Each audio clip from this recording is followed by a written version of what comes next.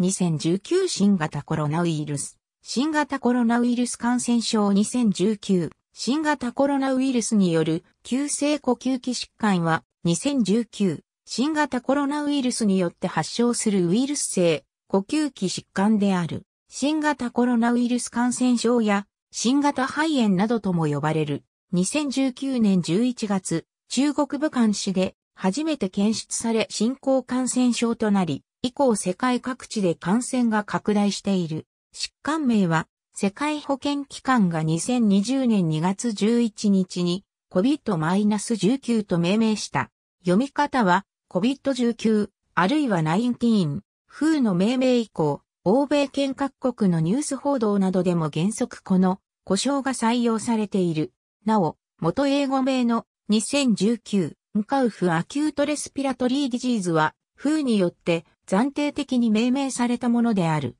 日本の法令では、同年1月28日時点で、新型コロナウイルス感染症と定められており、同年2月1日より1年間の予定で、感染症の予防及び感染症の患者に対する医療に関する法律に基づいて強制的な入院などの措置を取ることができる指定感染症に指定された。武漢などを関した故障と政治的論争については、中国本土における2019年コロナウイルス感染症の流行状況中国の対応への評価を参照名称について、風は地域の名称や地名と結びついた中東呼吸器、症候群やスペイン風邪、エボラ出血熱、自家熱などの故障に批判的な見解を示しており、2015年に策定された風の名称決定についてのガイドラインでは、新たな人感染症、ウイルスの名称に、地理的な位置、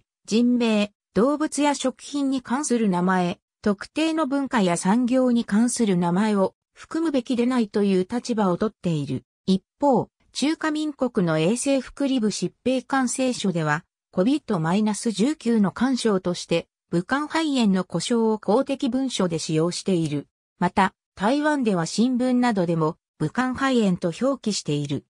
さらに、台湾だけでなく、中国本土においても発生当初には、武漢肺炎と呼ばれていた。このほか、麻生太郎財務大臣や米国のマイク・ポンテオ、国務長官らをはじめ、日米の政治家やジャーナリストの間では、発生地の名前を取った武漢肺炎、武漢コロナウイルスなどと呼ぶべきと主張する意見もあり、中華人民共和国外交部はこれに反発している。SARS 株 -2 に感染することによって発症する。感染経路も参照飛沫感染、接触感染が中心とされている。空気感染は確認されていないが、エアロゾルを発生する医療処置がなされた際には、感染に関与する可能性が指摘されている。SARS 株 -2 は、SARS コロナウイルスと同じく宿主細胞のアンジオテンシン変換酵素、通受容体に結合して感染すると見られている。ACE2 受容体は、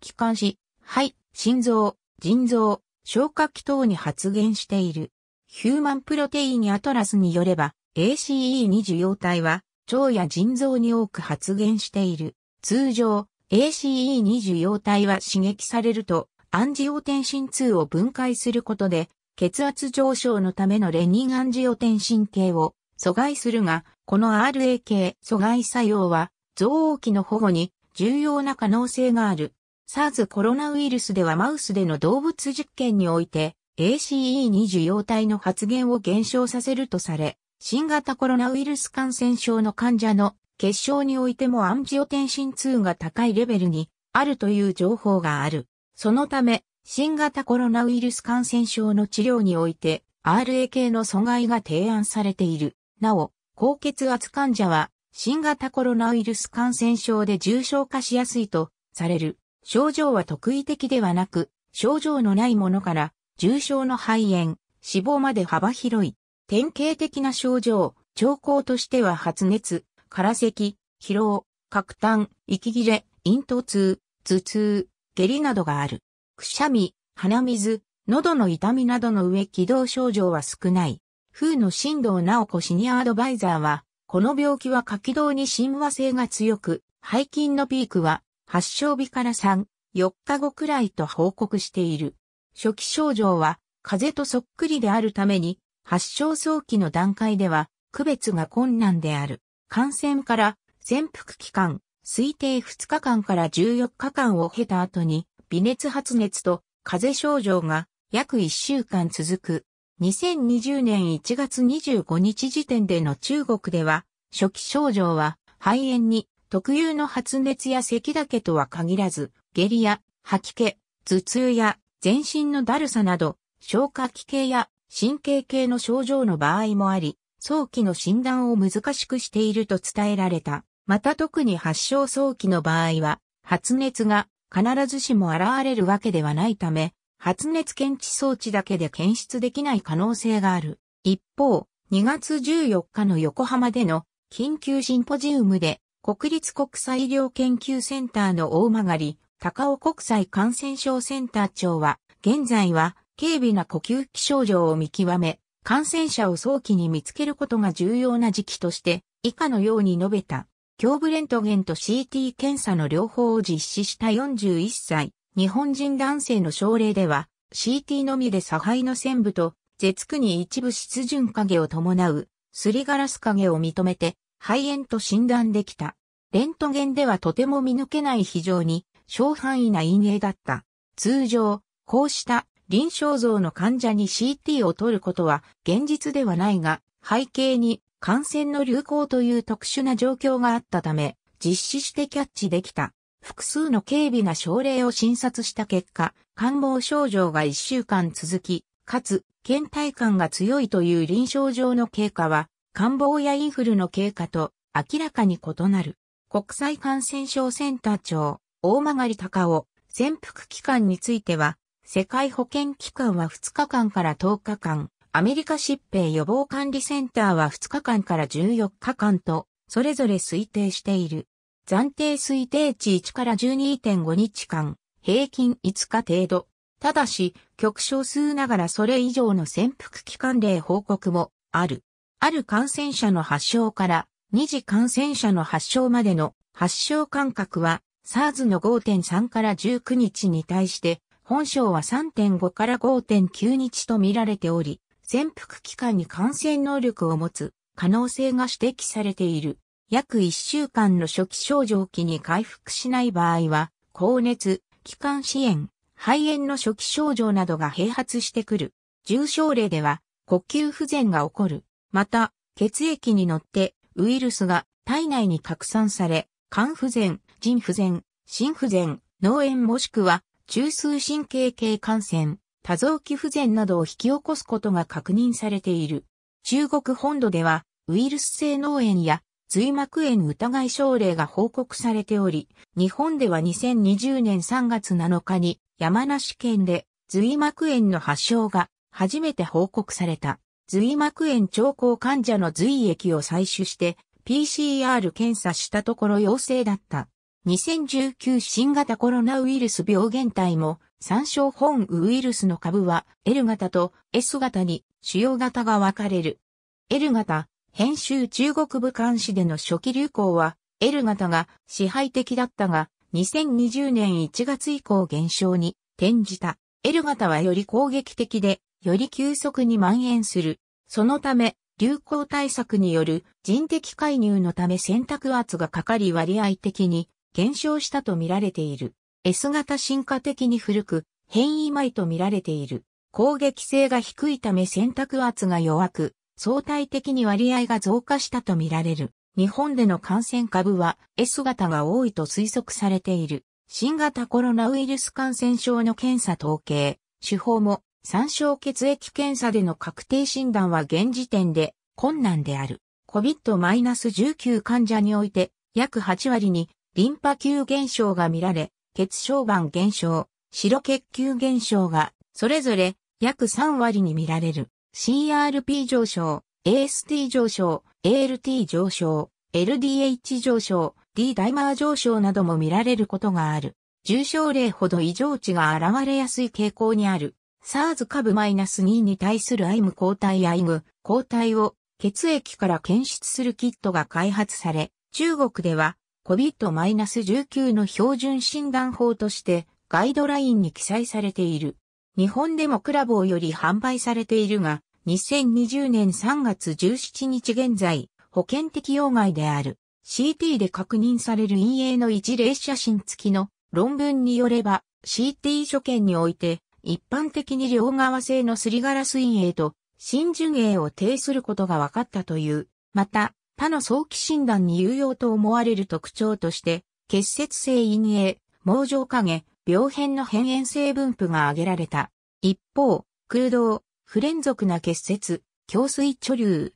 リンパ節主張は見られなかった。初回 CT 検査で異常所見がなくても、COVID-19 の可能性を除外できるとは限らないという。超音波診断装置による肺エコーは COVID-19 の診断に使える可能性があり、また院内感染リスクを減らせる可能性が指摘されている。概要、編集下起動由来検体、またはビニントの具液を用いて PCR 検査を行うことでウイルスの存在を診断する。検体ごとに陽性率は異なっており、気管支肺胞洗浄液が93%、角炭が72%、ビヌグイ液が63%、咽頭ヌグイ液が32%と報告されている。下気道にウイルス量が多いため、なるべく下気道由来検体を採取する。下気道由来検体を採取する際には、N95 マスク、目の防護具、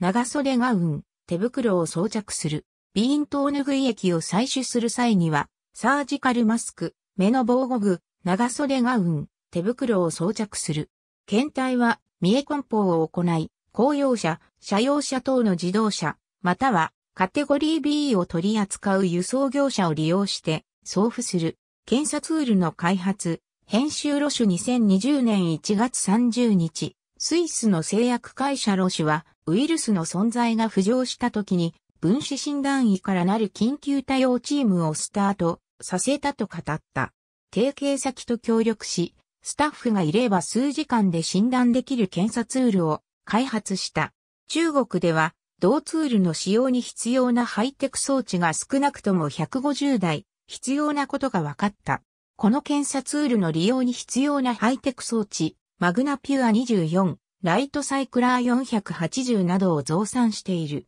CDC-CDC の検査キット2020年2月6日、アメリカ疾病予防管理センターは、本ウイルスの検査キットを開発し、国内外の検査機関に配布を始めたと発表した。検査キットは通常のインフルエンザの診断で使用する機器で利用でき、4時間で結果が出る。1キットで700から800の検体を診断できる。それまでは採取した検体を国内の検査機関から受け取って CDC が診断していたが、各検査機関の中で診断できるようになり、迅速化する。リアルタイム PCR DNA を増幅しながら、量も測れるリアルタイム PCR で新型コロナウイルスが検出できるということが報告され、風から2万5千のキットが159カ国の検査所に送られた。島津製作所2020年3月4日、島津製作所は従来の PCR 検査薬に余分な成分の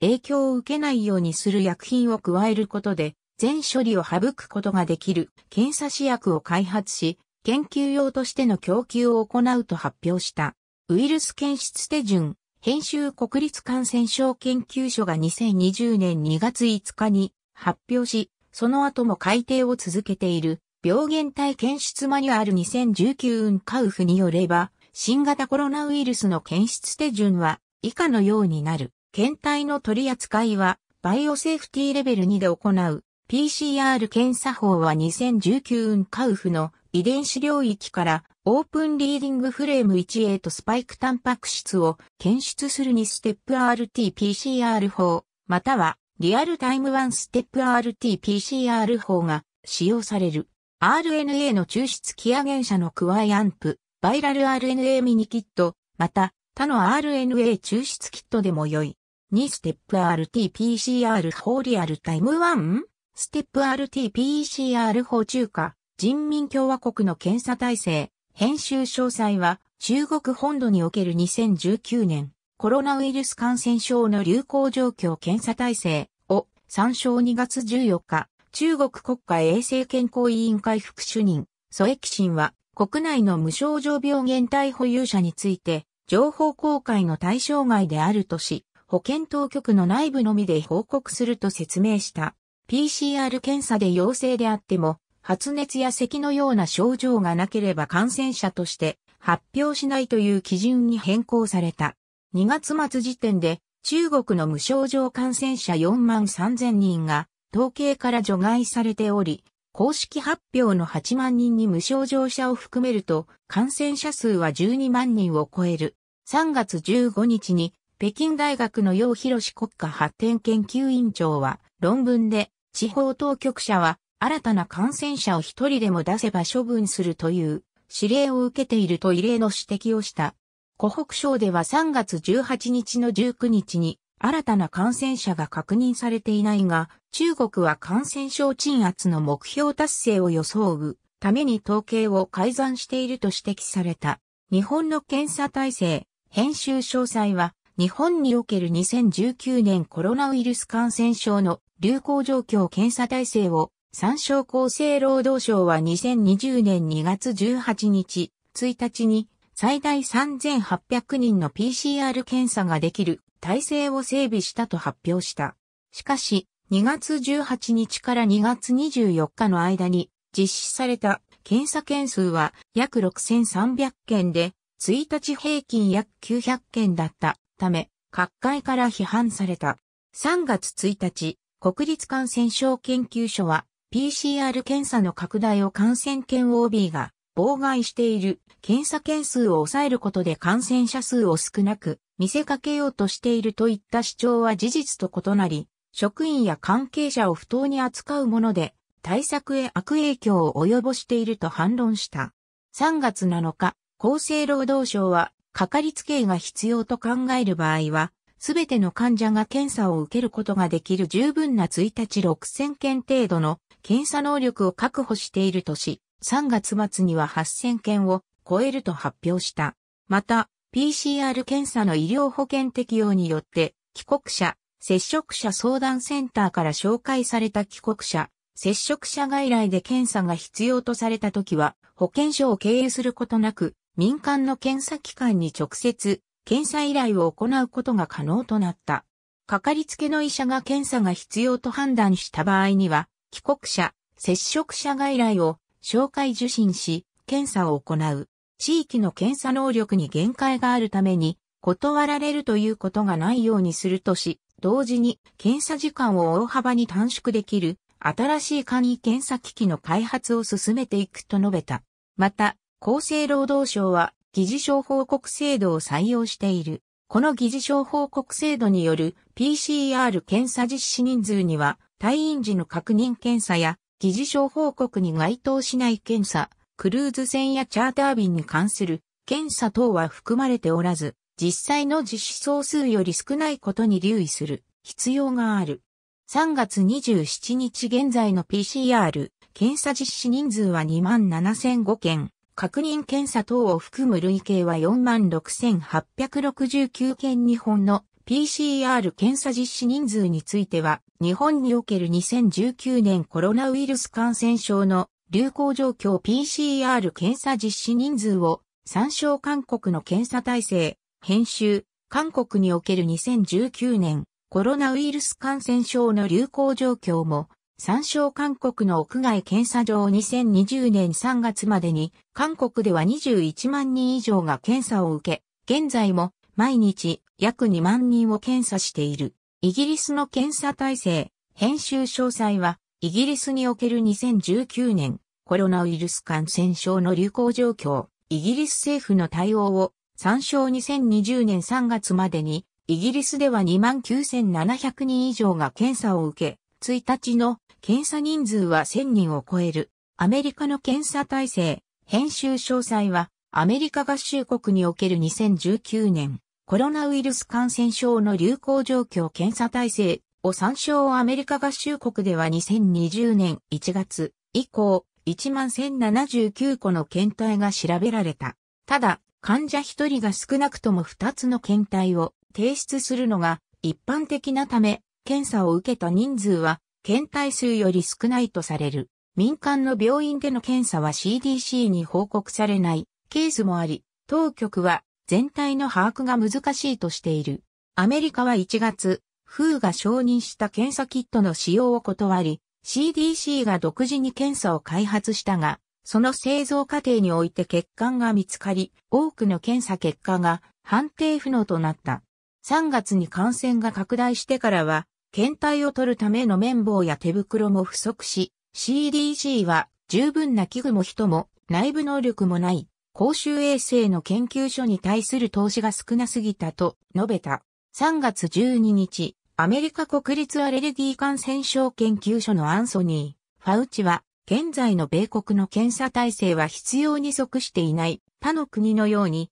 誰もが簡単に受けられるという体制になっていないと述べた。また、ワシントン大学病院のアレックス・アダミ博士は、今回の感染症の予防、検査、治療法について、誰も実際に訓練を受けた人はいなかったと述べ、その結果、院内感染が発生したという。病院は当初、新型ウイルスに対応するスタッフは少ない方が感染のリスクを限定できると判断していた。アダミ博士は他の病院は私たちの例を見てどうすればもっとうまくいく？と考えてほしい。国民には私たちの例から後手後手に回るのではなく早め早めの対応が必要だと学んでほしいと述べた。ドイツの検査体制、編集、ドイツにおける2019年コロナウイルス感染症の流行状況も、参照3月26日時点で、ドイツにおける検査実施数は週に50万件に上る。シャリテ大学病院ウイルス学研究所長、クリスチャン・ドロステンは、ドイツで感染者に比して死者がここまで少ないのは、診断検査を非常に大規模に実施している事実によって説明し得ると述べた。EN、COVID-19 ドラッグデベロップメントも、参照2020年3月末現在、各国の暫定的な治療指針はあっても安定した治療法が確立したとは言えず、人工呼吸器の必要な重症者、そして死亡者も世界で増加している。医学界、製薬業界では次の両面戦略を進めている。過去の SARS、マーズ、エボラ出血熱、エイズウイルス等のウイルスに有効であった薬剤や、実際のマーズや、この SARS 株 -2 に試験管レベルで有効な薬剤を網羅的に探索する研究などで候補薬剤を探して転用する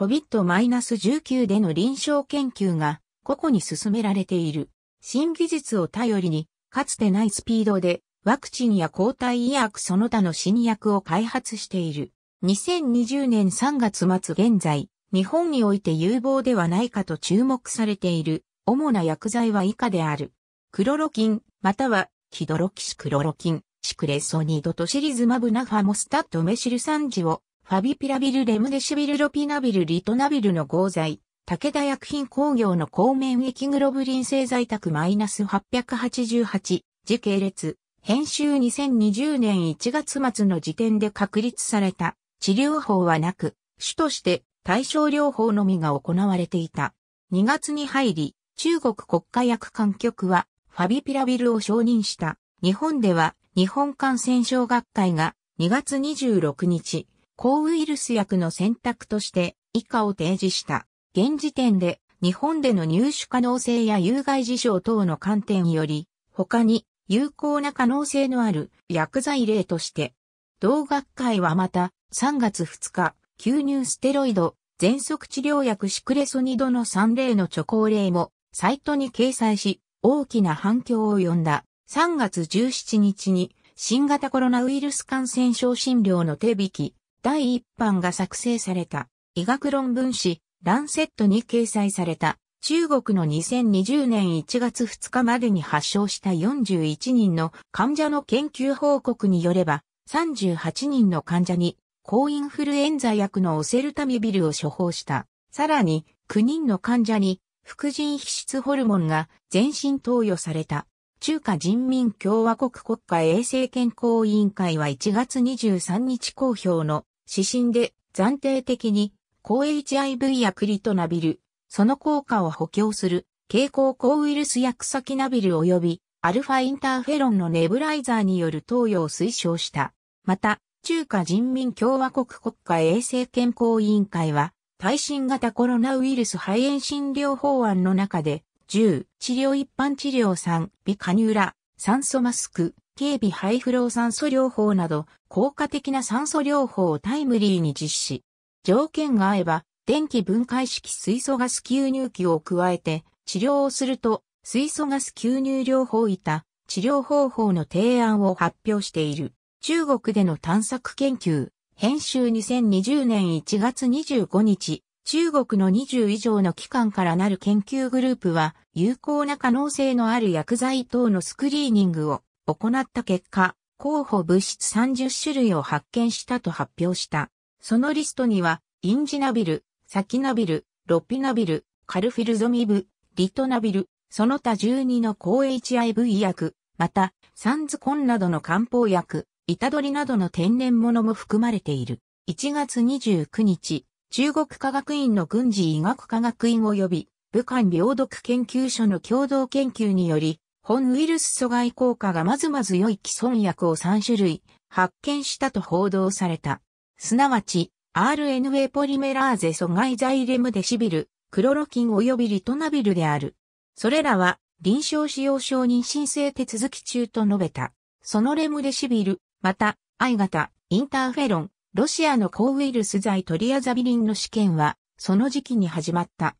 北欧での探索研究、編集、ペター、アイアンデルセンらは人体に対して安全で薬効範囲の広い120種類の抗ウイルス薬からなるデータベースを作成し、本ウイルス疾患の治療に有効な可能性のある31種類の薬剤をピックアップしている2020年2月12日第6版。その中に以下の薬剤名が例示され、2019カウフの処方に目的変更が可能かもしれないとある。preprints.org ドイ10.20944プリープリンツ20万1910.0144 V6 韓国での探索研究編集2020年3月2日。韓国パスツール研究所などのチームは FDA 承認薬と生物活性分子を含む5406個の化合物の中から MERS コロナウイルスの臨床分離株を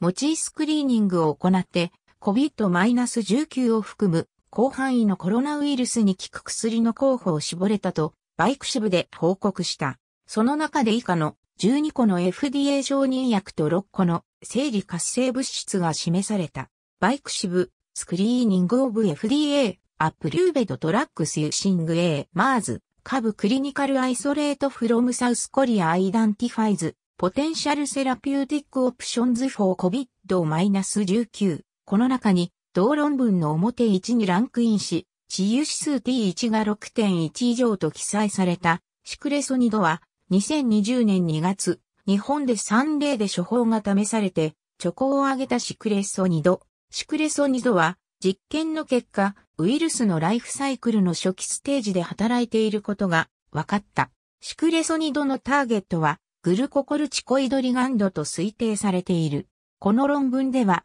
治癒指数 T1 が非常に大きい、強心配糖体類が特に有望としている。概要、編集ロピナビルリトナビル配合状、または、アルビア略称、LPV、R は、上記のように、中国での初期の治療から広く用いられている。ロピナビルとリトナビルはどちらも HIV 感染症に対するハート両方に用いられ、プロテアーゼを阻害する作用を持つ。2020年2月26日の日本感染症学会の文書でも、現時点で日本での入手可能性や有害事象等の観点を考慮した抗ウイルス薬の選択肢として筆頭に名前が挙がっている。症例報告レベルでは有効であったとする報告が見られる一方、福丹大学のチームが2020年1月から2月に行ったロピナビルリトナビル投与群52例を含む134例の比較臨床試験の結果、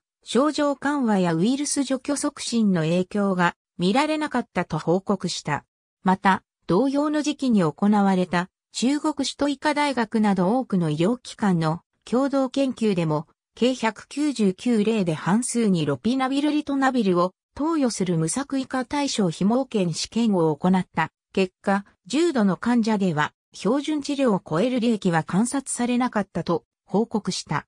時系列、編集米製薬会社アビは2020年1月26日、中国保健当局からの要請で、アルビアを試験的に使用していることを明らかにした。アルビアは冷蔵不要という特徴がある。2月2日、大保健省は本剤とオセルタミビルの併用によって治療効果を認めたと以下のように発表した。バンコクの病院で中国人女性旅行客の患者に抗 HIV 薬リトナビル及びロピナビル、並びに抗インフルエンザ薬オセルタミビルを混合して投与した。10日にわたって症状が悪化し続けていた重症患者であったが、投与後48時間以内にコロナウイルスが消失した。2月4日、石膏大学教授リランケン研究チームは、ロピナビルとリトナビルは大きな効果はなく、しかも副作用があると述べた。2月10日、上海市公共、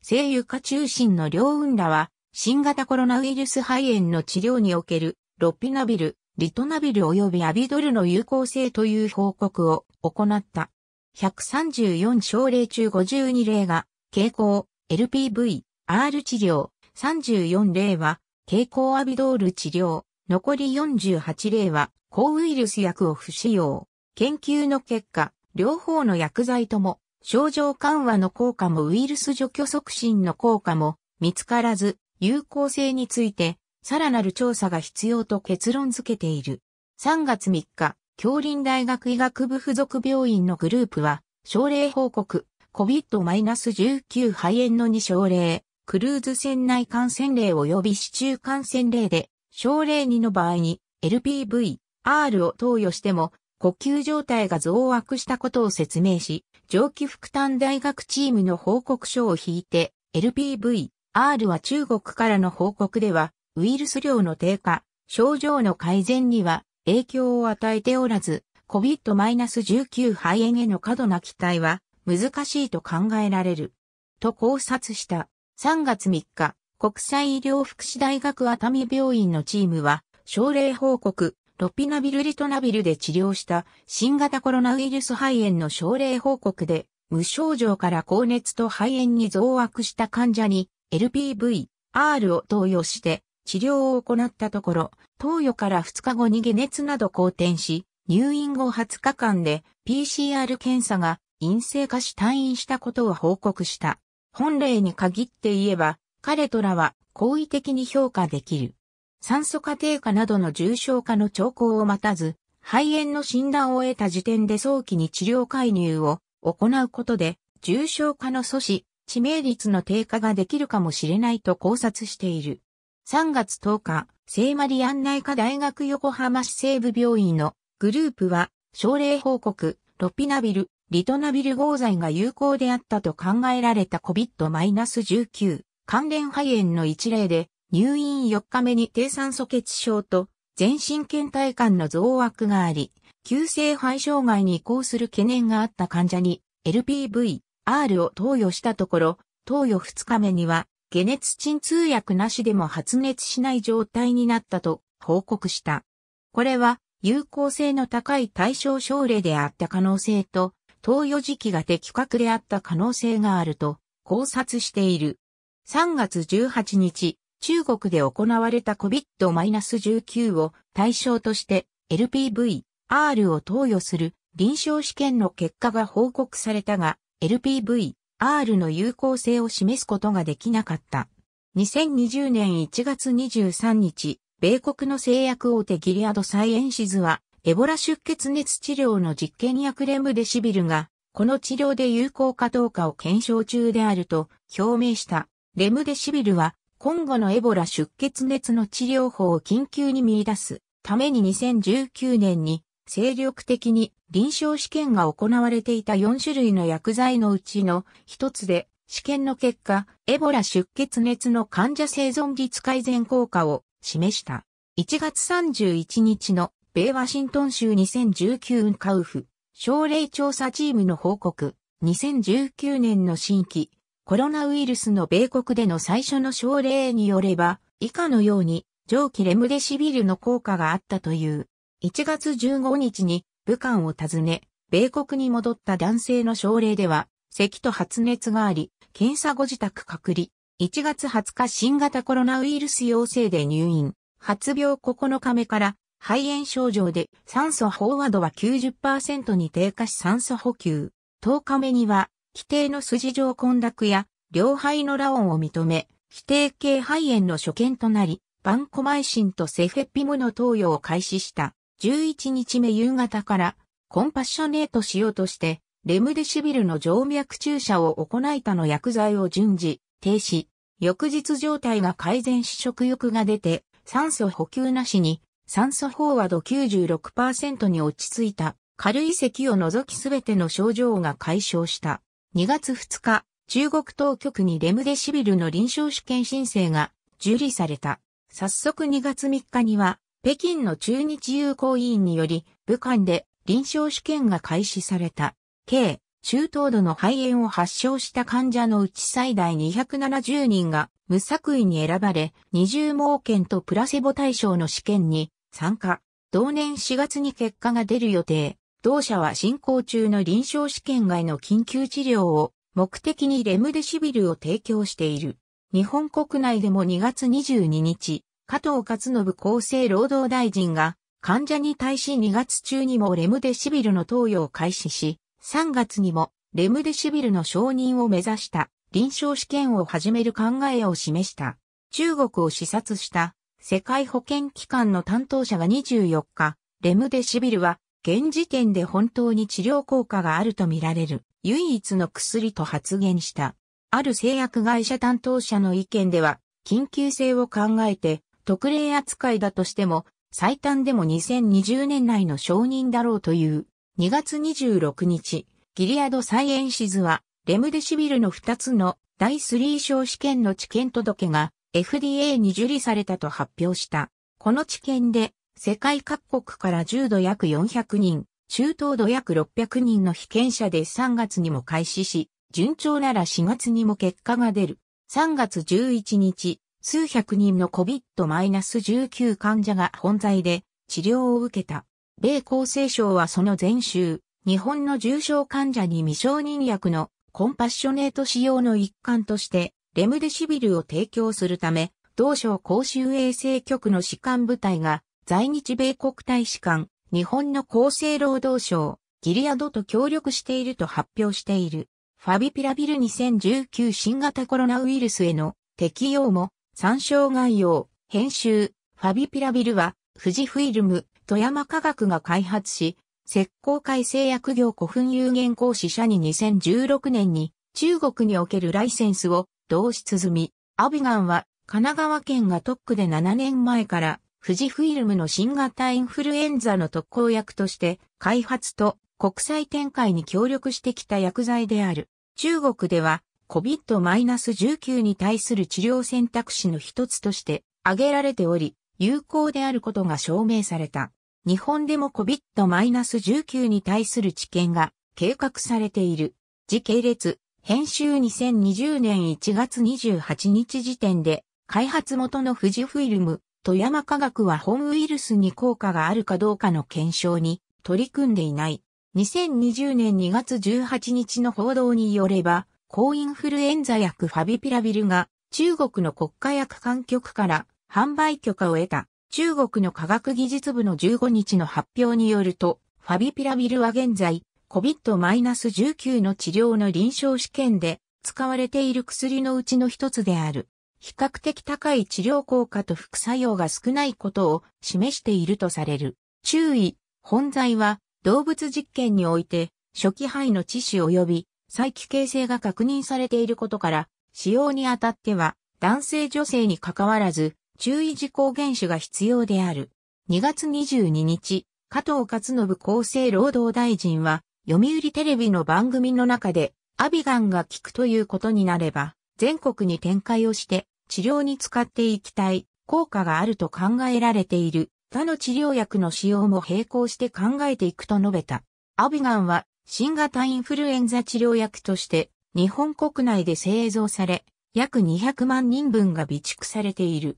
政府関係者によると、中国で本ウイルスへの効果が確認されているという、アビガンの人道的使用と臨床試験の早期開始を国に提言したのは自身で、あると、黒岩祐二神奈川県知事が2月23日に表明した。2月22日から日本国内の一つの医療機関で本疾患の患者にアビガンの投与が始まった。3月17日、中国政府はファビピラビルが有効であったと発表した。ファビピラビルは、ロピナビルリトナビルとの紐件比較試験において、ウイルス排出期間を短縮し、X 線画像の改善率を高め、さらに安全性にも問題がなかった。シクレソニドも、参照概要、編集、シクレソニドは、気管支喘息を適用症として、承認済みの吸入ステイロイド薬である。国立感染症研究所では、同剤の SARS 株 -2 に対する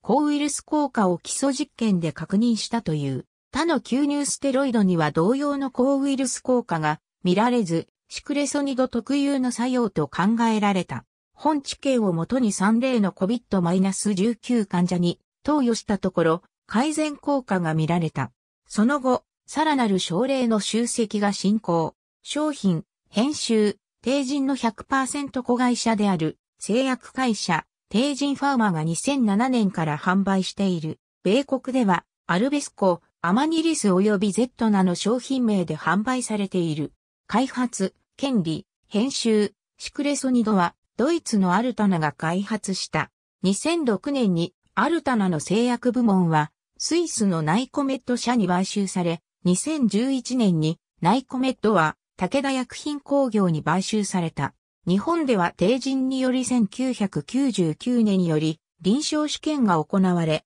2007年に気管支喘息を適応症とし製造、販売を承認され発売された。しかし、海外メーカーからの導入品のため、増産する場合も、帝人ファーマの一存ではできないという。日本向けの製剤がどこで製造されているかに関して、帝人ファーマは非開示である。米国販売権は上記武田薬品工業から米 Sunovion Pharmaceuticals Inc.に譲渡され、2017年に大日本住友製薬から上記コビスファーマに譲渡された。海外での権利は Sunovion Pharmaceuticals Inc. 2015年に AA アストラゼネカに移り、2018年より上記コビスファーマが保有している。コビスファーマはオランダのバールンに本社、スイスのツークに支社を持つ。親会社はファンド会社のアポログローバルマネジメント。シクレソニドを承認している国は2010年でも59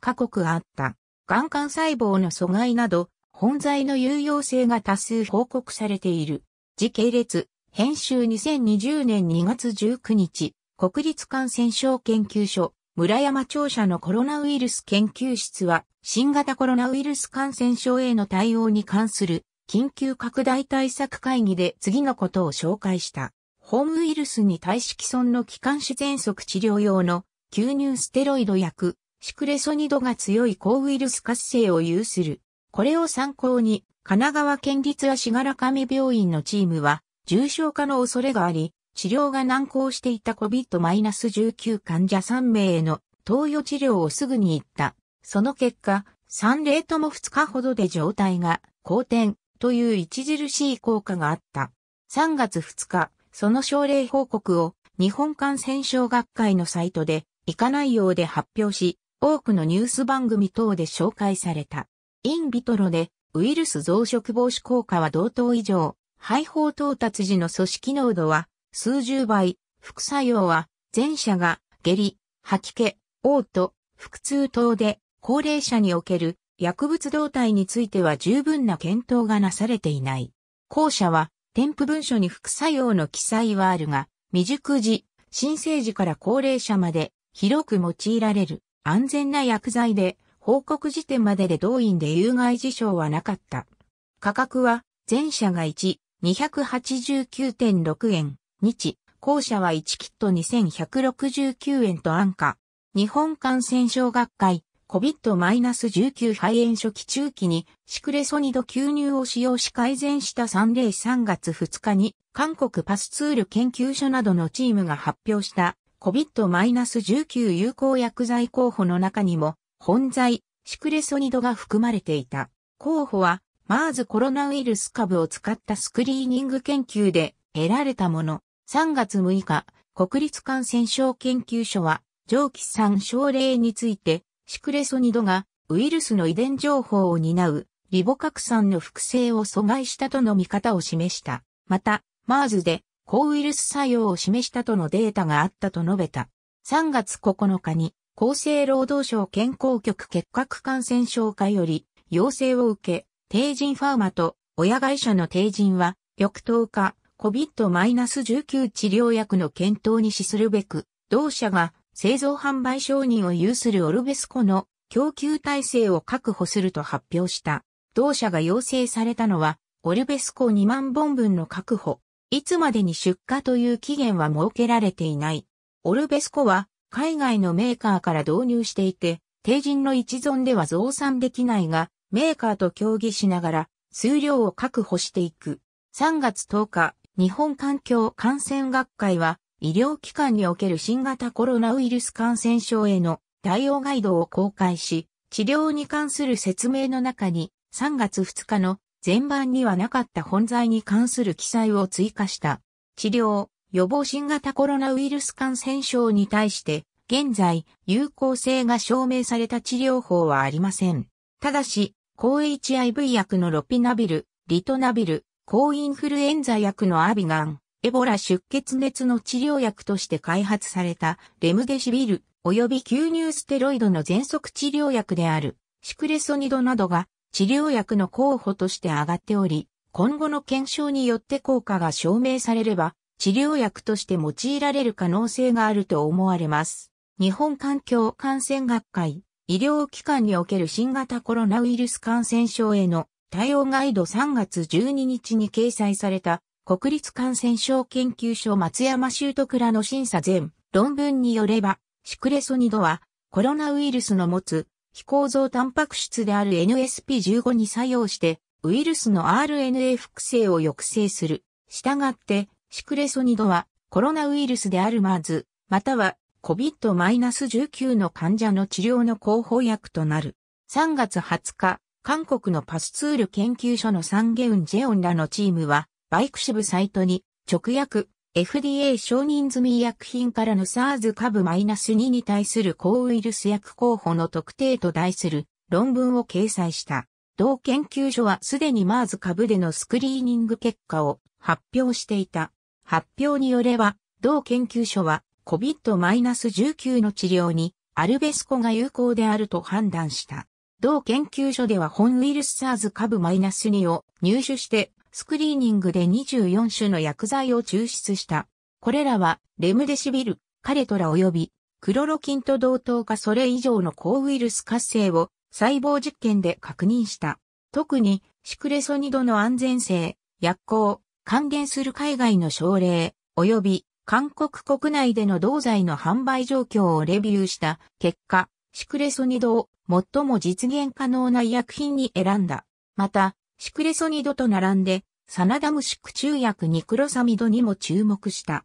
3月22日に放送された NHK のインタビューで、国立感染症研究所の松山修徳室長は、次のことを明らかにした。同研究所では2年前から、マーズに効く薬を1200種の薬剤ライブラリーから、スクリーニング研究を実施し、シクレソニドが有効である可能性を見つけていた。今回新型コロナウイルスに感染させた細胞にシクレソニドを作用させる実験を行ったところ、ウイルス量は100分の1程度にまで減った。シクレソニドはウイルスの増殖を抑えると同時に炎症を抑える効果もあると思われる。3月23日、国立国際医療研究センターは肺炎症状のない COVID-19 患者を対象としてシクレソニドの臨床試験を早期に始める予定で、プロトコール検討中であることを明らかにした。ナファモスタットメシル酸ジオでの臨床試験を検討中、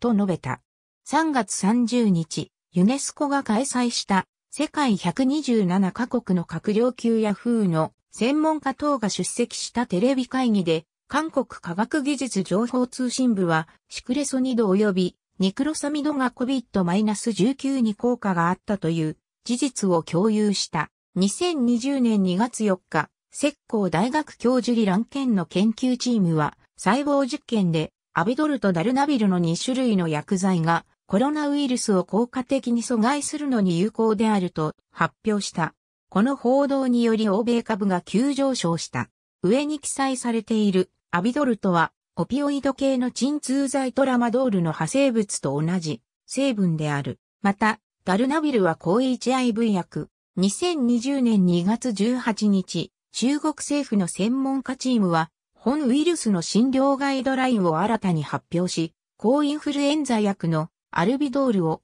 治療薬として加えた。中国政府の専門家チームは、危険な状態や重症の患者に対して完治した人の結晶を治療に使うことを進めた。武田薬品工業も参照2020年1月27日、中国国家中医薬管理局は本疾患の予防と治療のための中医薬の効果的処方を発見するための臨床研究を開始し、山西省、河北省、国旅行省、先西省で漢方薬の清支配配毒油での治療の臨床的観察とデータ分析を行った。臨床的に有効なデータ214件により、2月6日、国家衛生健康委員会と国家中医薬管理局は共同で全国に、清支配配毒油の使用を勧告する文書を発行した。発表されている効果は以下の通り、2月19日の中国国家中医薬管理局の発表によると、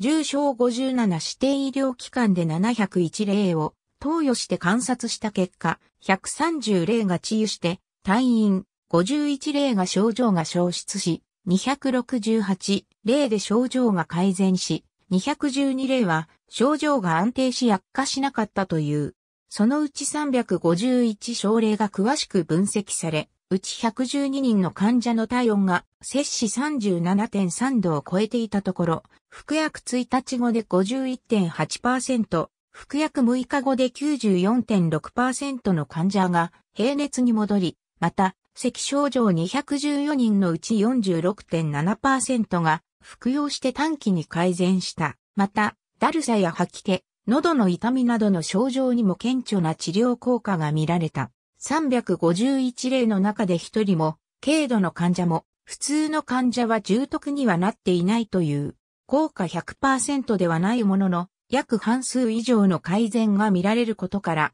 中国国家衛生健康委員会と国家中医薬管理局は2月6日、清市ハイハイ毒油の使用を推奨する旨、中国全土に通達した。2月19日付、国民健康衛生委員会発行の新型コロナウイルス肺炎の診断と治療とその解説によれば以下の通り、一般的な処方、清市肺肺毒油は臨床治療期間中に推奨される、軽度、一般的、重度、重大、及び回復期間の臨床症状が得られた。推奨される処方と投与量、及び投与方法は3つの側面から説明されている。2月21日の中国国務院の記者会見で、全国6万例以上の症例で、西洋医学に漢方薬を併用して結果良好と以下のように発表された。漢方薬の併用により、臨床症状が消えるまでが2日間短縮、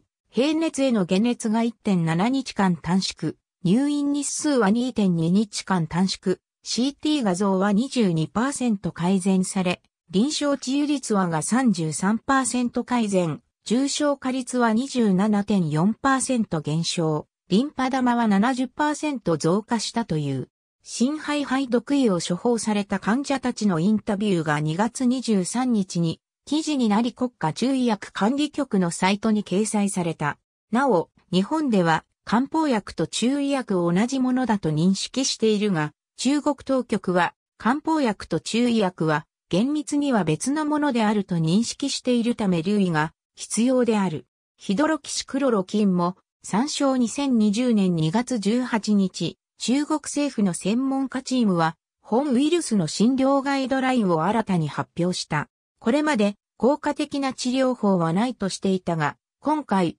抗マラリア薬のリン酸クロロキンと抗インフルエンザ薬のアルビドールを治療薬として加えた。このうち、リン酸クロロキンは特効薬ではないが検討に値する。また、ウイルス検査で陰性になるのが早いほか、副作用も大きくないという。北京市や広東省などの病院に入院する患者に対する臨床試験で症状の改善を確認した。15日に開いた国内の専門家会議で臨床試験の対象を拡大することで一致したという。ヒドルキシクロロキンは全身性エリテマトーデス治療薬として承認されている。日本で COVID-19 患者に例に投与し、有効であったと報告されている。ヒドロキシクロロキンだけでも効果があるが、抗生物質のアジスロマイシンと併用すると、上気道からのウイルス消失効果がより高い可能性があるという研究が3月20日に、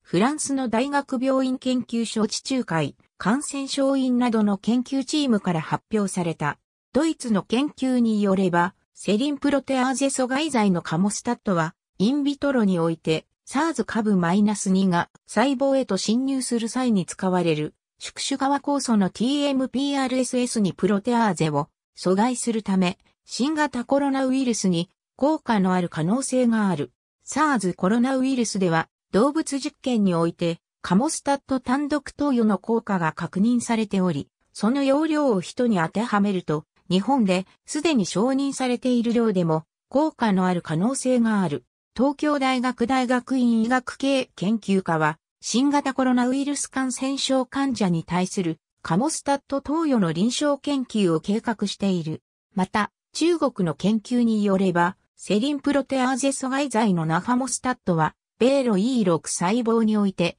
SARS 株 -2 の感染を防いだものの、その50%効果濃度は高めの 22.50μm となっている。東京大学医科学研究所は、新型コロナウイルス患者に対しなハモスタットの試験投与を行う予定となっている。日本では、カモスタットは、慢性膵炎や術後逆流性食道炎に、ナファモスタットは、膵炎や播種性血管内凝固症候群などに対して保険適用されている。2020年3月4日、中華人民共和国国家衛生健康委員会は、強力なイル -6 阻害薬であるトシリズマブの COVID-19 患者に対する投与を認可し、医療規定の標準治療に組み込んだ。イタリアにおいても、重度の新型コロナウイルス患者2人に、対しトシリズマブの投与が行われ、これにより24時間で症状が改善した。この投与は、在骨理病院会社及び、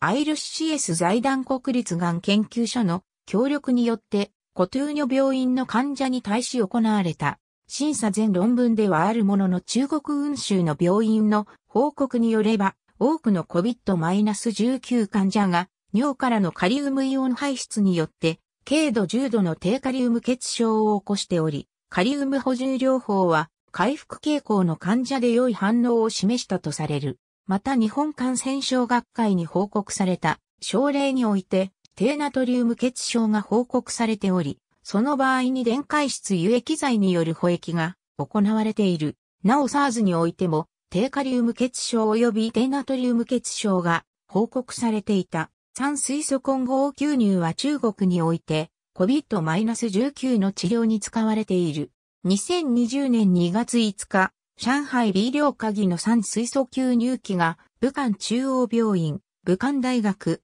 中南医院などの病院へと届けられ、使用されるようになった。この酸水素吸入器は、慢性閉塞性肺疾患、喘息、気管支拡張症、気道狭窄などに向けて開発されていた。2月17日、中国非効率医療機構協会がこの酸水素吸入器を推奨し、3月3日、中華人民共和国国家衛生健康委員会は、ガイドライン第7版で、酸水素吸入器を標準治療に組み込んだ。ただし二重盲検比較試験は行われておらず、論争も起きている。新型コロナウイルス感染症の患者の結晶では、著しく高いレベルのアンジオテンシン2が確認されており、それによる障害を防ぐためにアンジオテンシン2受容体拮抗薬を使うことが、インドマハラシュトラ保健大学のマルデューラ・ポッドケイ教授から提案された ARB にはテルミサルタン、ロサルタンなどがある。欧州製薬団体連合会は高圧剤であるアンジオテンシン2生成を阻害するアンジオテンシン、変換酵素阻害薬の効果の検証を含む治療法の特定を会員企業に求めている。マウスでの動物実験において、アンジオテンシン2の分解を行うリコンビナント ACE2 の投与は、SARS の重症化を防ぐことが見つかっている。日本の医薬基盤、健康、栄養研究所は、量産可能なバクテリア由来の ACE2 様酵素を発見し、それが新型コロナウイルス患者の重症化抑制に使える可能性のあることを発表した。ACE2 以外のウイルス受容体として CD147 が関与している可能性が示唆されている。高 CD147 抗体であるメプラズマブにより、ウイルス陰性化までの期間が短縮されたと報告された。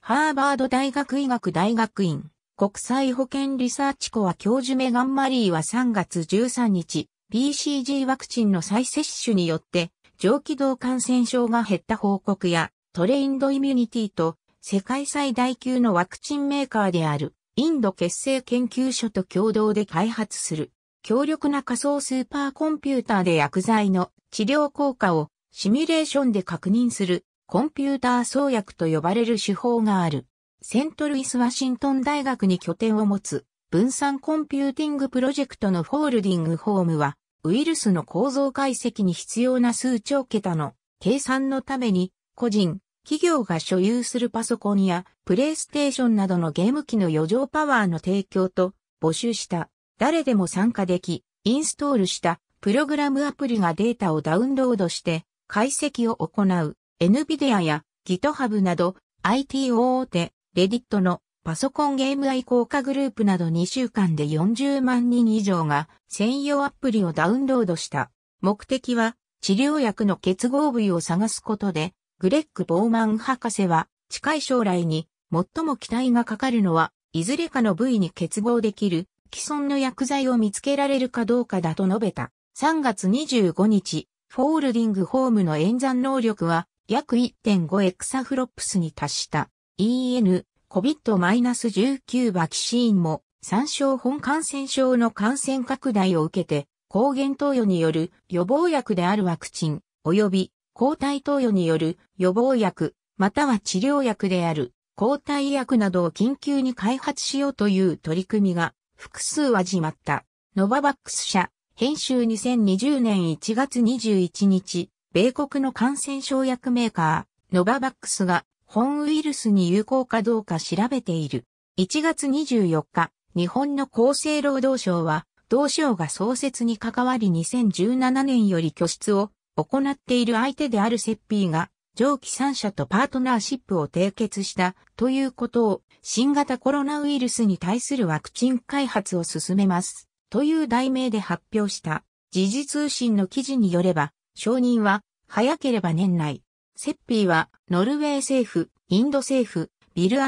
メリンダ・ゲイツ財団及び公益信託団体ウェルカムトラストの出資によって2017年にダボス会議にて発足した公的機関、民間機関、慈善団体及び市民団体の間でのグローバルな共同体であるイノビオは医薬品の研究開発会社でマーズの最も先進的なワクチン候補、イノマイナス4700を持っている。セッピーの全額資金提供により2020年にイノマイナス4700の中東、アフリカ現地での第2愛臨床試験に入る予定。イノビオは1月23日、セッピーから最大900万ドルの助成金を受けたことを明らかにした。ウイルスの DNA 塩基配列が公表されたことで、イノビオは3時間以内にウイルスをデザインできたという。新ワクチン E のマイナス4800の臨床試験は2020年初夏にも始まる計画で、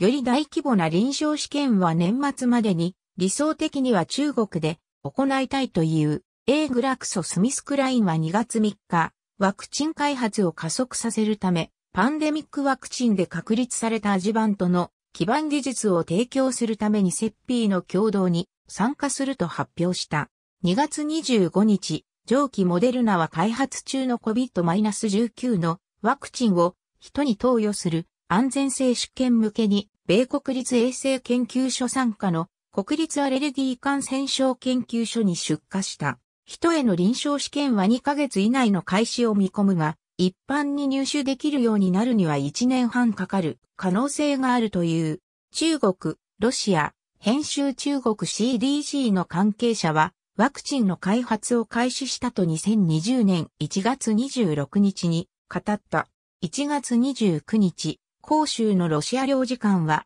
新型コロナウイルスのゲノムが中国からロシアに提供され、中ロがワクチンの共同開発に着手したと発表した。開発したワクチンの治験開始が3月17日に承認され、同じ週から中国人民解放軍軍事科学院の研究者らが治験を開始。ジョンソンエンド・ジョンソン社、編集2020年1月29日、米医薬品、日用品大手ジョンソンエンド・ジョンソンは COVID-19 ワクチンの開発に着手したと発表した。エボラ出血熱のワクチン開発に利用した技術を応用する。このワクチンは、現在、コンゴ民主共和国とルワンダで投与されている。すでに多数の研究者をワクチン開発に投入しており、1ヶ月以内には何らかの成果が出せると確信している。世界市場に向けた量産体制はすでに整っているので、ワクチンが完成すれば1年以内に億単位の出荷が可能という、サノフィ社、編集2020年2月18日、フランスのサノフィは、米国保健福祉省の生物医学、先端研究開発局と協力して、COVID-19 のための遺伝子組み換えワクチンの速やかな開発を目指すと発表した。アンジェス、大阪大学、宝バイオ、編集2020年3月5日、大阪大学発の創薬企業アンジェスは、本ウイルスのワクチンを大阪大学と共同で開発し、タカラバイオが製造すると発表した。DNA プラスミド技術を活かし、DNA ワクチンという種類とするので、他の方法のワクチンよりも短期間に製造工程が作れるという、リジェネロン社、編集2020年2月4日、米国厚生省は、米製薬大手リジェネロンファーマシューティカルズと提携し、本ウイルス感染症の治療のためのモノクローナル抗体の開発を行っていると発表した HHS によると、リジェネロンは、コンゴ民主共和国内で発生したエボラ出血熱の試験薬を開発する際に使用された技術と同様の技術を使用するという。同社は2月6日、同治療法が数ヶ月以内には一部の患者に使える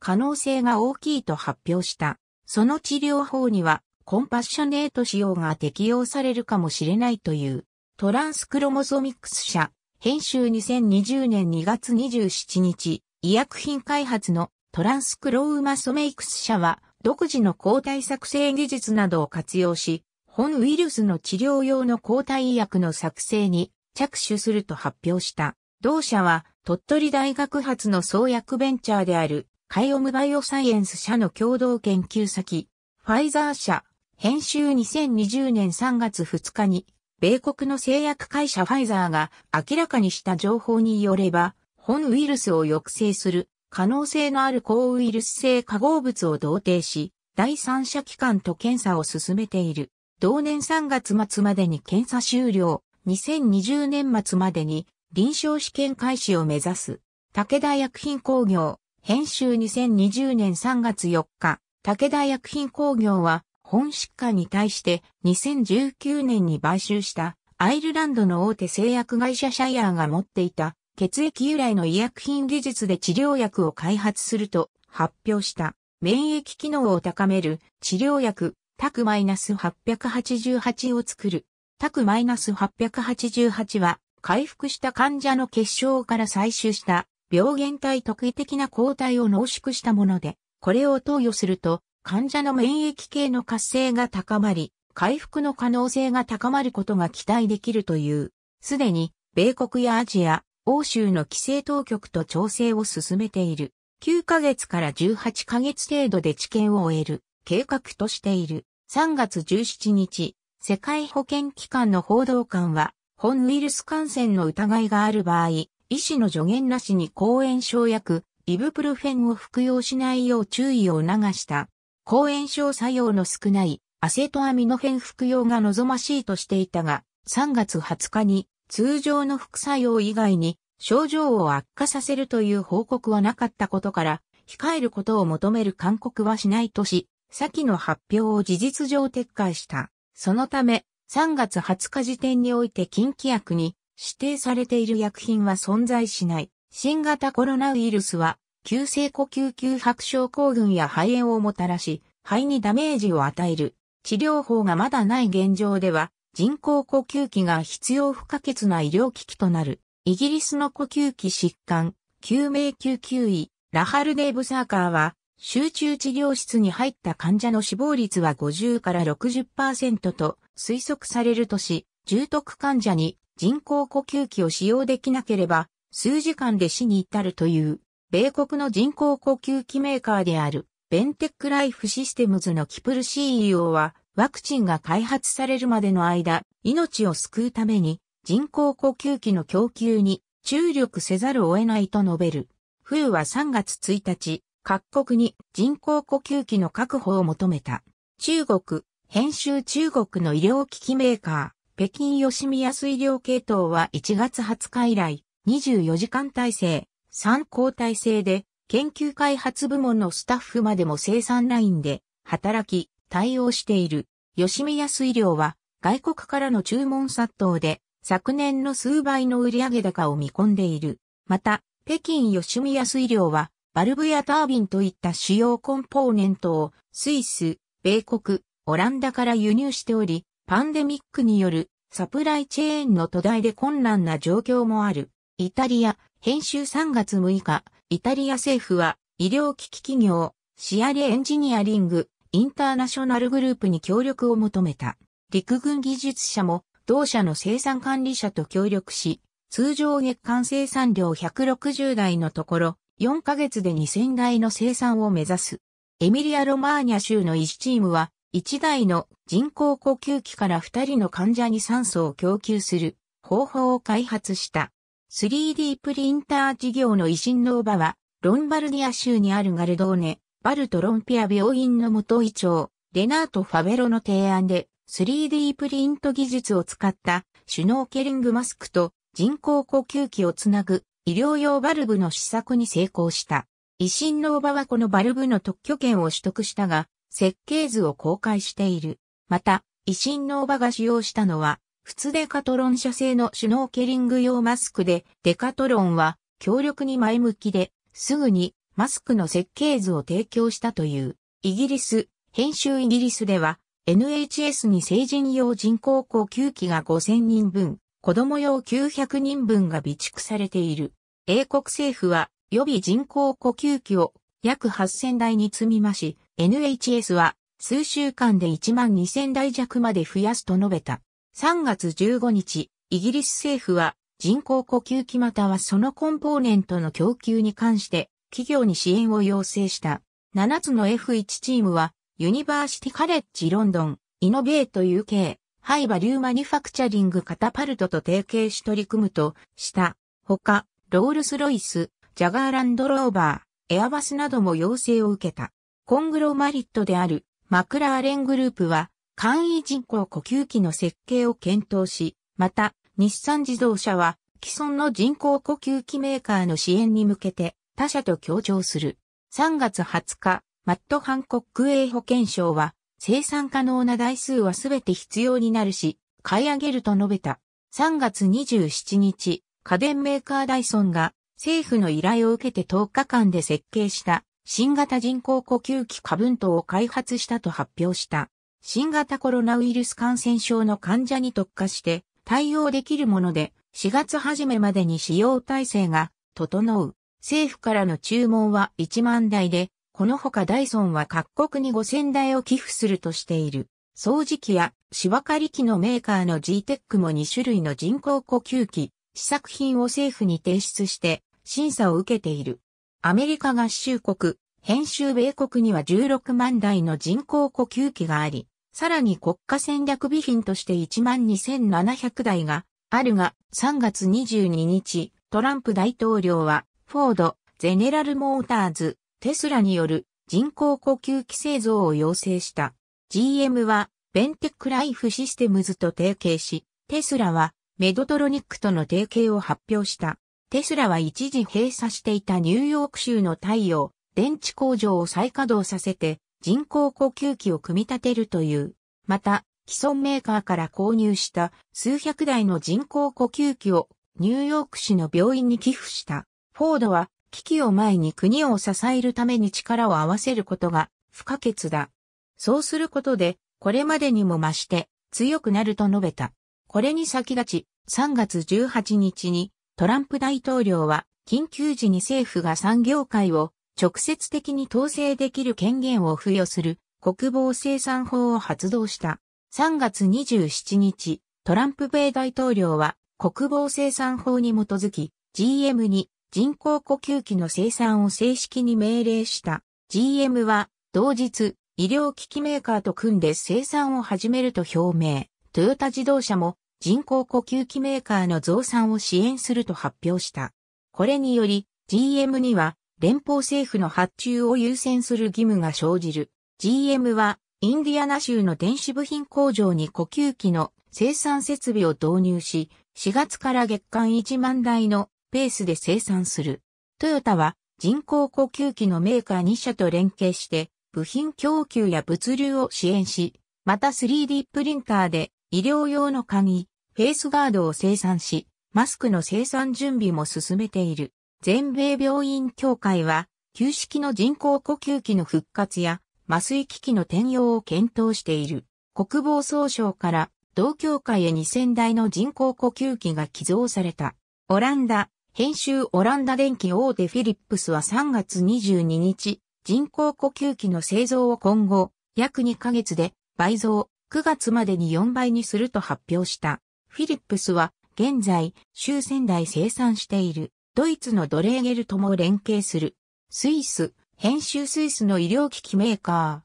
ー、ハミルトン・ボナドゥーツ株式会社は、感染拡大が最も深刻なイタリアに優先的に製品を届けており、2020年3月現在、昨年1年分の販売台数1500から2000台が1ヶ月で売れるという、クローズドループ制御換気機能のある最新世代の人工呼吸器の価格は約6万フラン。ハミルトン CEOB ランドはスイスには現在、合計1000から1200台の人工呼吸器がある。もし、イタリア同様に感染状況が深刻になれば、需要は絶対に満たせないだろうと述べた。スイスのハミルトンの昨年の生産台数は1万5000台だったが、今年は約2万1000台を目指す。ハミルトンは年間10億ドル以上の規模の人工呼吸器のグローバル市場で売上高シェア約4分の1を占める。ハミルトンはルーマニア工場で人工呼吸器用ホースを製造しているが、重要な医療機器を理由として、数週間ルーマニア当局によって出荷が止められるという問題も発生したが、政府を通じて解決した。ドイツ、編集ドイツでは感染拡大が始まる前に各病院が約2万台の人工呼吸器を保有していたが、連邦政府はドレーゲルベルクに1万台を発注した。レーベンスタインメディカルイノベーションのフランス支社長、クリストフ・ヘンツェは、フランスにおける需要は、通常は年間約1000から1500台だが、現在では週に数百台まで増加しているという。日本、編集日本政府では、経済産業省で人工呼吸器を3000台確保している。3月25日、朝日火星は同社参加の米国ゾールメディカルが、米国内の部品メーカーから供給を受け増産し、現在の生産数の約25倍となる月1万台の生産を目指す。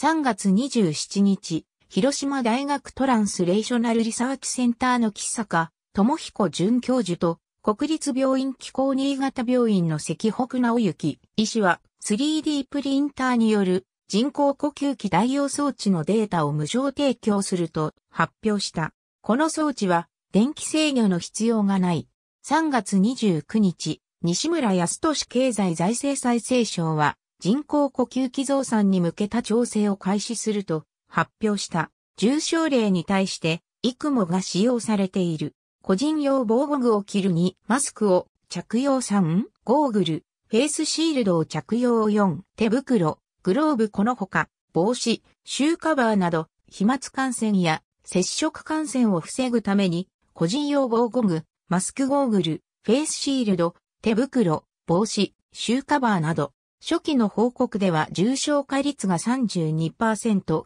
死亡率が15%と高いものであったが、症例の集積に伴い、現在では重症化率、死亡率はそれより低いことが判明している。風からの報告では、軽症中等症例が約80%、重症例が13.8%、重篤例が6.1%とされている。死者の多くは、高血圧、糖尿病、免疫系を損なう心血管疾患など他の疾患を合わせ持っていた。また、免疫系の過剰反応であるサイトカインストームによる重篤化するケースもある。死亡に至った初期症例によると、疾病の判明から死亡までの中央値は14日であり、6日から41日までの幅があった。スペイン風邪流行時の1918年、マスクをしていない人の乗車を拒否するシアトルの路面電車。2020年現在の流行では、致死率が時間とともに変化し、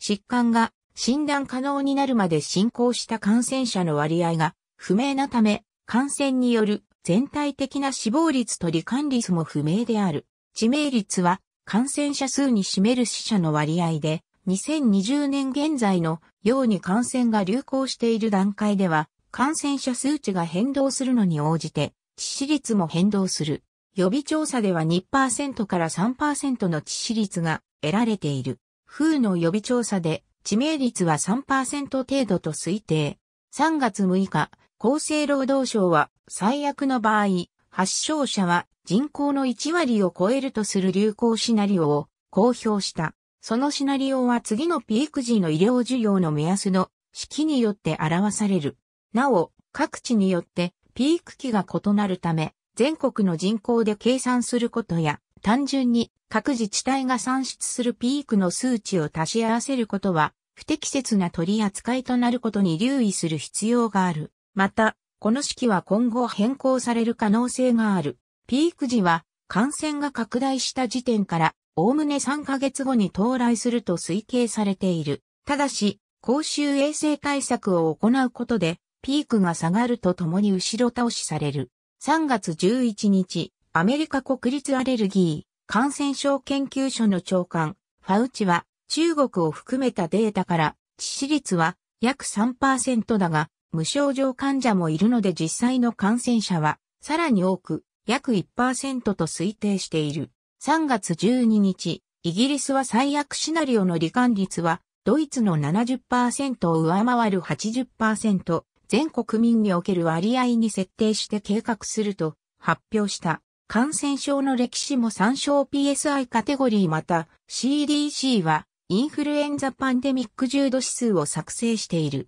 中国武漢の病院で PCR 検査により診断された COVID-19 患者に対して PCR と血液、血清の診断の詳細を調べる研究があった。39例中15例が治療後も、腸管や血液にウイルスを有していた。また、同病院の16例の研究で、例目に、高校サンプルが陰性でも5日目に、肛門サンプルが陽性化したのが4例あり、また、血清検査では治療直後陰性が治療5日後に検査すると陽転化するものが多かったという。この結果について、神戸大学大学院岩田健太郎教授は以下の見解を執筆している。研究のポイント、高校スワブが陰性でも、肛門スワブ、血液で陽性という例が存在する。臨床現場での考え方として、2回の高校スワブ PCR 陰性の退院基準は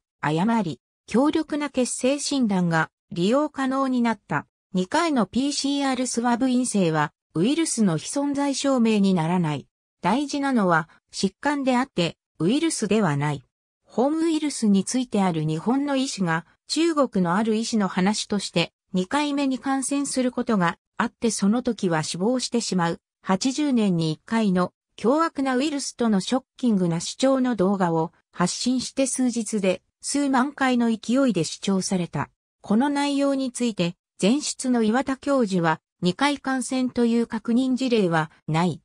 そうでなく、検査で見つけられ人生判定されたウイルスが生き続けて再燃した可能性が高い。引用論文が明示されない話は信用しないでと注意を呼びかけた。一方、PCR 検査で陽性反応が出て入院し、その後の検査で陰性となり、症状も落ち着いたため退院したが、最初の発症から2週間以上経過して、再び検査で陽性となったケースも出てきており、ウイルスの再活性化か別の方などの再感染の可能性が指摘されている。医薬品を使わない介入による集団感染緩和策流行のピークを遅延させる、ピーク時の医療への負荷を下げるために曲線を平坦化する感染者数と健康への影響を減らす。社会距離拡大戦略も参照厚生労働省によれば、ウイルスなどによる感染対策の原則としては、持ち込まない、持ち出さない広げないの3つがある。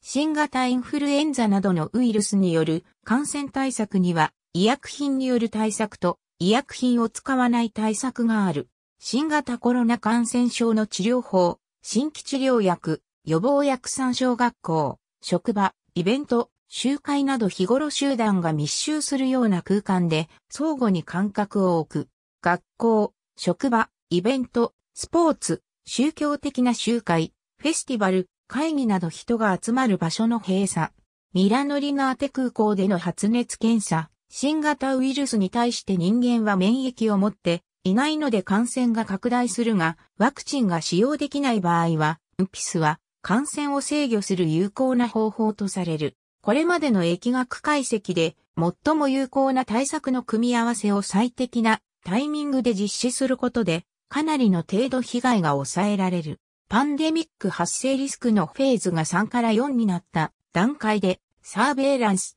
監視調査中心の対策から、といった戦略が段階的に検討され、様々な対策が実施される。参考、 Non-pharmaceutical Interventions、Community Mitigation Guidelines 新型コロナウイルスの構造赤い突起、スパイクタンパク灰色の皮膜がエンベロープ、主成分は脂質でアルコールや石鹸で破壊できる。黄色の付着物、エンベロープタンパク。オレンジの付着物が膜タンパク質。感染経路としては、ウイルスが付着した手で鼻や目や口を触ることによる接触感染と咳やくしゃみによる飛沫感染がある。また、中国の衛生当局は飛沫感染、接触感染に加えて、閉鎖された環境で長時間、高濃度のウイルスの粒子を吸った場合のエアロゾル感染も追加した。軌道が主要のウイルス電波経路になるとみられるが、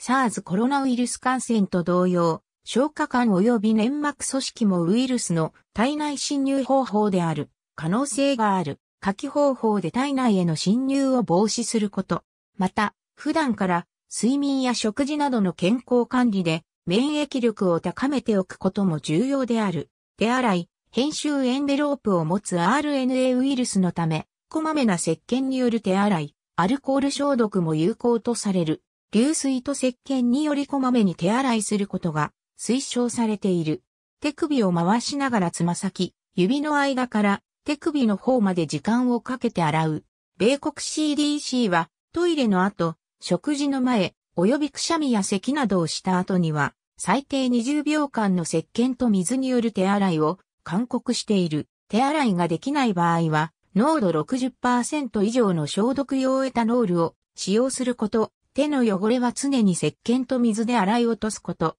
としている。トイレや外出で汚れた後洗わない手で鼻や目や口などの粘膜に触らないよう注意が必要となる。ウイルスがついて感染源になりやすい場所、もの、編集スペインの鉄道駅の消毒多くの人が触れた。可能性のあるものには触らないようにする。例えば、トイレの便座の蓋、流水レバー、蛇口、ドアノブ、ハンドル、エレベータのボタン、電話機、窓の取っ手、照明スイッチ、テーブル、椅子、パソコンのキーボードなどに。ウイルスは付着しやすい。銀行や郵便局に。ペンが置いてあるが、使わないようにし、ペンは携帯する。ドアノブに触るときは、清潔なペーパータオルなどを使う。どうしても触らざるを得ないときは、触った後、すぐによく手を洗う。また、触る前にも手を洗う。ドイツルール大学、ボーフムド、グライフスバルト大学病院衛生研究所の研究グループによれば、病室内で患者が使用した道具に付着した SARS コロナウイルス MERS コロナウイルスは消毒しないと平均4から5日生存を続ける可能性があるとし、この特徴が新型コロナウイルスにも当てはまる可能性が高いと発表された。2020年3月報告の米国の研究者が実験室環境で SARS 株 -2 を試験したところ、SARS 株 -1 と同様にプラスチックやステンレスの表面上では比較的安定し、72時間後も活性のあるウイルスが検出されたという。段ボールの表面上では、SARS 株 -1 の8時間に対し、SARS 株 -2 では24時間であった。消毒、編集東海道新幹線の駅に置かれた消毒液厚生労働省は、消毒では消毒用アルコールやジア、塩素酸ナトリウムが有効としている。ルール大学、ボーフムド、グライフスバルト大学病院衛生研究所の研究グループは、エタノールのほか、オキシドール、ジア塩素酸ナトリウムにより、残存ウイルス数を1万分の1にできると発表した。また食品においては、新型コロナウイルスでは不明なものの、SARS コロナウイルスでは60度で30分以上の調理が必要とされている。新型コロナウイルスでは不明だが、MERS コロナウイルスやインフルエンザウイルスでは特定の条件下で腸管からの感染が起こり得るという研究が存在する。咳、くしゃみのエチケットとマスク、編集感染症を予防するため、咳、くしゃみが直接人にかからないようにカバーすることが大切です。東京都感染症情報センター、咳エチケットについて、新型コロナウイルス感染症に関する情報一般的な流行疾患に対する情報であるが、マスクの捨て方について、警視庁はマスクの外気に当たる面は、ホコリやウイルス等で汚れています。マスクを使い終わったら、紐部分を持って外し、マスク本体には触らないように、ビニール袋に入れ、口を縛って密閉してからゴミ箱に捨てましょうと呼びかけた。気温、湿度のコントロール、編集加湿器などを使って50%から60%の湿度を保つことも方法の一つ。新型コロナウイルスでは不明なものの、他のコロナウイルスでは低温低湿で活性状態が続き、温度20度、湿度50%で不活性化が進みやすいという屋内環境での実験結果が存在する。日本の一般的環境においては、法令上労働安全衛生法ではオフィスにおける室温17度以上28度以下、相対湿度40%以上70%以下の努力義務があるものの、2014年時点において、相対湿度の法令に対する不適合率は高いものとなっている。2020年2月4日、日本透析医学会は、透析例への対応策を発表した。2月6日、日本産科婦人科学会が妊産婦への対応策を発表した。2月12日、日本環境感染学会は、医療機関における新型コロナウイルス感染症への対応ガイドを公開した。2月16日、日本臨床腫瘍学会は、がん患者への対応を発表した。明らかなエビデンスはないものの、米国 CDC のガイダンスでは、がんの罹患は重症化リスクの一つであるとされている。また、免疫抑制状態もリスク因子とされていると記載されている。2月17日、日本医師会は COVID-19 への医療機関が講じるべき対応策の見直しを、配下の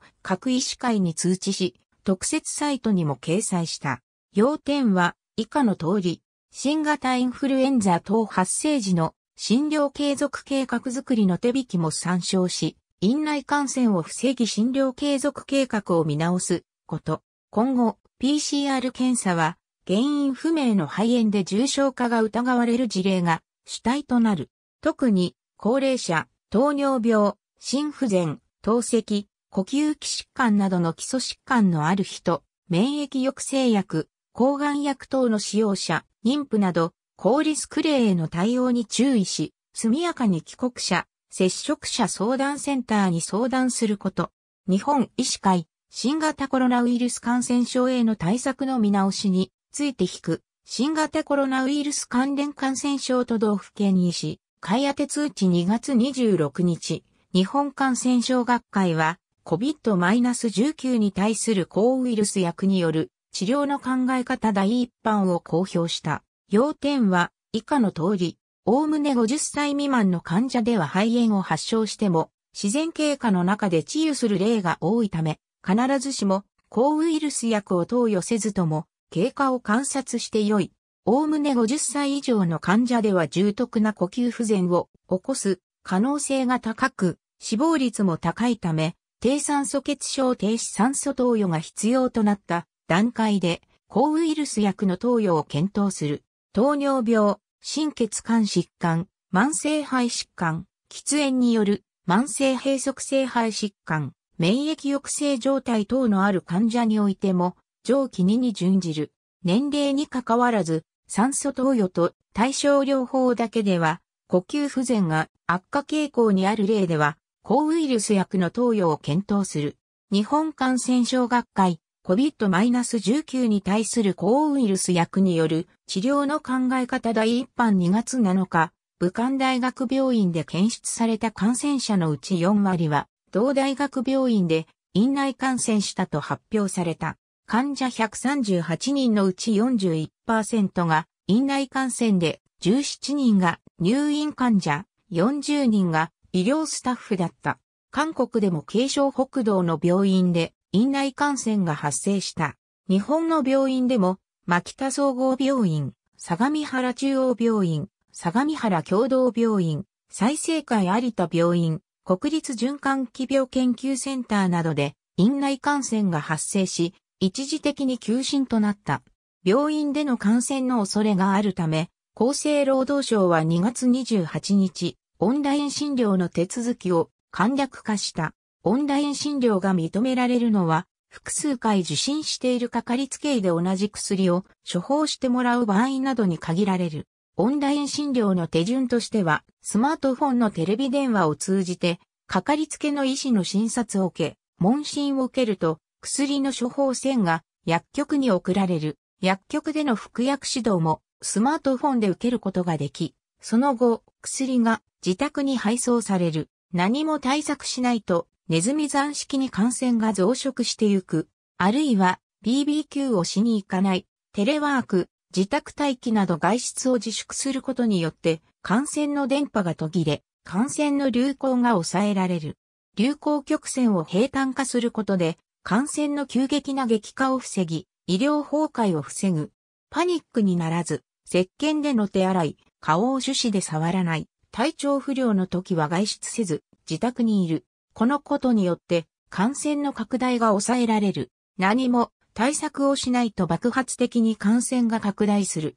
イベントや旅行の中止、自宅で仕事をする、石鹸での手洗いなどで感染の拡大が抑えられる。詳細は社会距離拡大戦略を参照ジョンズ・ホップキンズ大学、ブルームバーグ公衆衛生学部のブルース・ワイリーは、感染拡大を抑えるための社会的距離戦略として以下を列挙する。できるだけ家から出ない2メートル以内に近づかない。体を密着させない部屋、エレベーターの中でも、距離を置く握手、ハグ、キスをしない職場、学校、映画館、スポーツイベントを避ける、食料品店やコインランドリーは空いている時間に行く、ラッシュアワーを避けるペン、押しボタン、ドアノブなど、多くの人が触れたものには触らない。触った場合は、すぐによく手を洗う。ペンは携帯する。会議、集会、ハッピーアワーの場を避ける。感染していないという確証が得られる人とだけ少人数で集まる。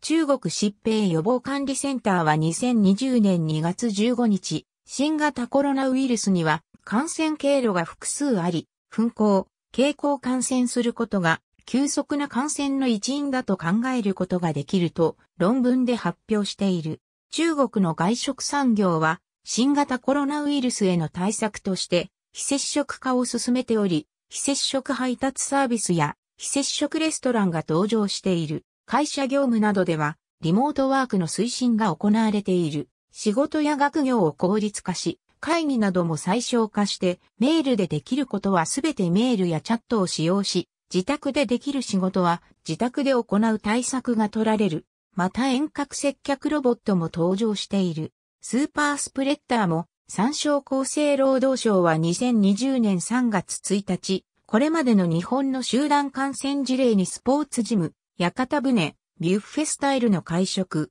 雀荘、スキーのゲストハウス、密閉された仮設テントなどがあったとし、換気が悪く、人が密集して過ごす空間、不特定多数の人が接触する場所に行くことを避けるよう勧告した。集団感染の事例としては、札幌雪まつりでの屋台、住宅設備展示会、病院と福祉施設でクラスターが発生した。3月3日には、日本の集団感染9件では、そこからつながりのある感染者数が80人以上になることが分かった。これは調査対象となった感染者260人のうち約30%を占める。韓国での感染者の行動履歴の事例では、はじめにキリスト教会で集団感染が発生し、うち数とが老人福祉施設の食堂で食事をして5人が感染。さらにその福祉施設会員の感染が病院で確認され、さらにその病院で院内感染が発生した。